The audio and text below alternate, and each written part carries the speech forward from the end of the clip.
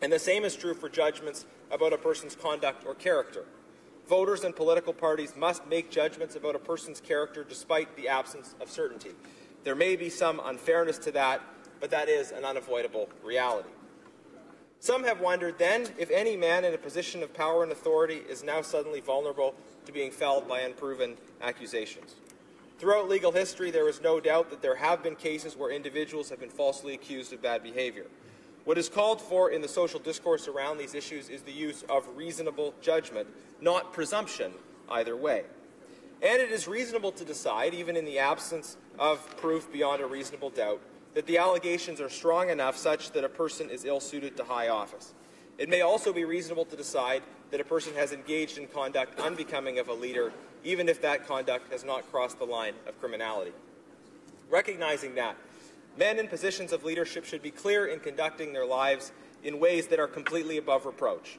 It is not good enough to play within the presumed line of criminal law while still behaving in a way that is exploiting and that objectifies others. Such a pattern of behavior may protect one from criminal prosecution, but it may also lead to justly deserved reputational damage. Men's behavior towards women ought to be guided by more than just a set of lines and rules, but rather by an ethos that affirms the full and equal dignity and personhood of every person. This is the alternative to objectification. Objectification treats persons as objects for use instead of as persons. It sees people as means as, as opposed to as ends. Immanuel Kant formulated this ethos in the formula of humanity. So act, he said, that you treat humanity, whether in your own person or in the person of any other, always at the same time as an end, never merely as a means. Kant acknowledges that people can be helpful in the facilitation of the realization of some other end, but argues that it must never be lost in the course of an interaction with another person, that that person is also an end, not merely a means. Now, in my view, one of the weaknesses of Kant's philosophy is that it presumes but does not fully engage with its own spiritual heritage.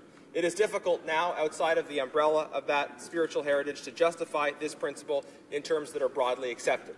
We are a society now too deeply influenced by materialism, by the idea that all that is and all that matters is the material. Materialism is not compatible with a doctrine like Kant's, which says that people ought to be treated as ends, not merely as means.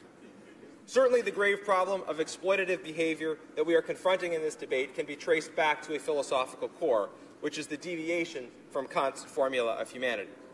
People have been treated by men in powerful positions as mere means to their own gratification, as opposed to ends in themselves with their own intrinsic worth and value. Women are now standing up against this, demanding to be recognized for who they are persons, not tools. We should note that there is a great deal of this treating people as a means as opposed to as ends in politics in general. It is when staff are used for their work but not valued as people. It is when relationships are cultivated on a purely transactional basis. It is when communities of support are cultivated for the votes they bring but not out of genuine respect for their perspective, experience, and values. I do not want to conflate these issues with the one that we are confronting today, but simply to make the point that there is a continuity of a personhood affirming ethos and there is also a continuity of an objectifying ethos. People are whole and, in, and integrated beings. When a person objectifies in one aspect of their life, it stands to reason that they are also more likely to objectify people in other aspects of their life. There was a time not that long ago when certain behaviors would be dismissed as part of a politician's private life. Much of what was once considered a person's private life was actually the way they were using their position to take advantage of others. But in any event, so called private acts by leaders which involve the objectification of others do have relevance for the common good, because these acts are a reflection of character. I believe strongly, and this belief has been reinforced by these events, that character should be the principal qualification for public office. I would encourage members of all parties at all levels to think seriously about the character of the candidates and leaders whom they choose. Past allegations of inappropriate behavior will obviously be considered. But markers of bad character, and in particular the willingness to treat people as objects, must also be considered.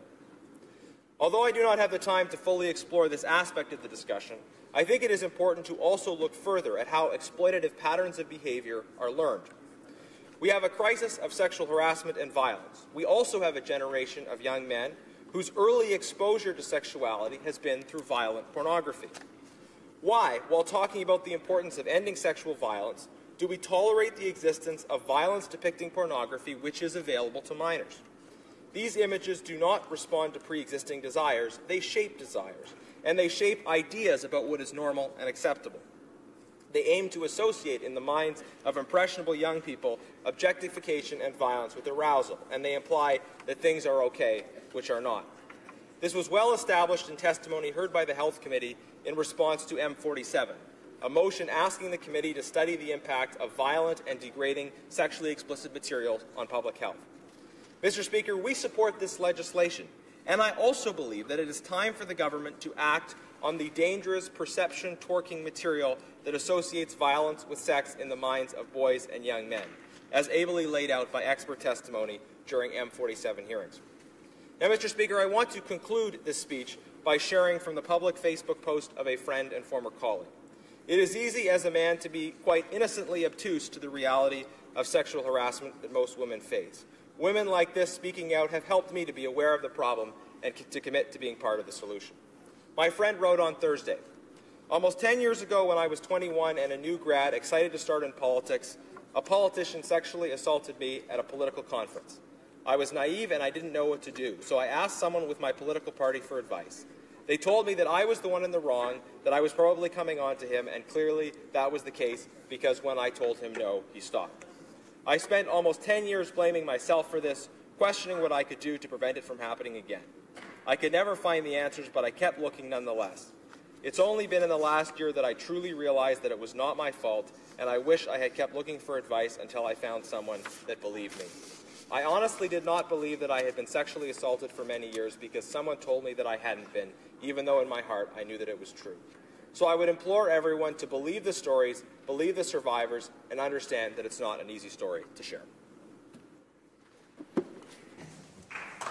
Questions and comments. The uh, Honourable Parliamentary Secretary to the Government House Leader. Yes, uh, thank you, uh, Mr. Speaker. And I've actually very much enjoyed the, the discussion and the debate, the dialogue that's been taking place on this important piece of, of legislation. It's encouraging when you get uh, parties uh, on all sides of the House uh, coming into to agreement. And when I take a look at the just the, the general overall framework of the legislation, there's the three words that come to mind: prevent, respond, support.